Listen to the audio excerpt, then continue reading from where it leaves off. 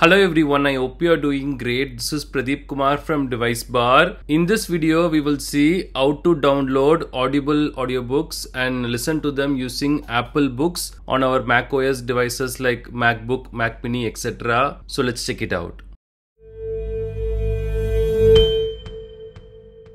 Audible or audiobooks is a good way to keep ourselves occupied and focused. Uh, we can listen to them while commuting, walking, even when we are taking a shower. Audible doesn't have a standalone app for macOS at the moment, but there is an alternate way to do this, and we will see that now. These are the current steps for doing this process, but the user interface might change in the future. If that happens, please let us know in the comments. We will share the updated steps for this. So to do this, we have to go to the Audible website audible.in or .com or we can simply Google Audible and it will open the link according to the location you are in. Then we have to log into our associated Audible or Amazon account. If you don't have an active account right now, you can check out our affiliate link in the description, which will uh, give you a free trial for 30 days and up to two premium audiobooks if you are a Prime member. So we just have to log in. Then we have this library section. We just have to select this here we can see the list of uh, audiobooks that we have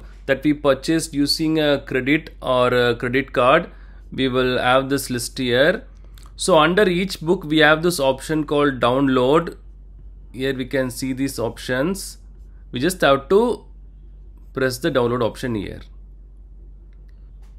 It will start to download this uh, file so the file size might depend on the audible duration. It could be 100 MB, 200 MB like that. So after downloading that file, it will look like this. We will have the audiobook thumbnail and also we have this .aax format. So this is used by Audible to store the audiobooks. So we just have to open it and it will automatically open via the Apple Books app. So if you are using this for the first time, then it will ask you to authorize this computer or something, but we have to do it only one time, I guess. So now here we can see the audiobook. Actually, for the past few minutes, we have been facing some uh, issues. I was not able to add the audiobook to the Apple Books app. Uh, like, I thought it's a bug or something, but there is a way to fix this. So, I was recording this video, and this is the error I got. This audiobook isn't authorized to play on this device. Why? So I got this error and I had no idea why this is happening. But there is a way to overcome this. So we just have to select the audiobook now. We will get this pop-up. To play this audiobook, you will need to authorize this computer for your Audible account. Would you like to go to the Audible's website now to do this? So we can select yes some people said uh, Firefox and Chrome browsers are having some issues regarding this. So we can set the default browser to Safari and then select yes. So it will just open this uh, page with the dot in. I am from India. So all I have to do is just change that to dot com so we will get this activate now option. So i have logged into my uh, default audible account. Regardless of audible.in or .com i'm just using my usual audible account here. So now i just have to select activate now. Who favored other schools of psychology. Though people still search for meaning in what they that's all. Now the do and how they live. We this is audible. Ikigai by Hector Garcia and Francesc Miralles. So yeah, that's all.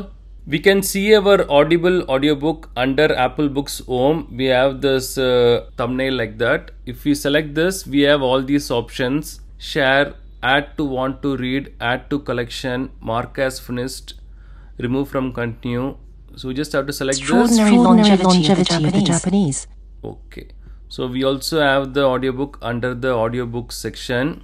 Suppose if you're still facing any issues, then you can go to this account option, authorizations. We can uh, just uh, experiment with this option and this option. You can try to authorize and deauthorize your Audible account and see if it works. These are the steps to download Audible audiobooks and listen to them on Apple Books on our macOS device. Thanks for watching this video. Do kindly share your questions and thoughts in the comment section. Please do subscribe if you find this video helpful. Have a wonderful day and night.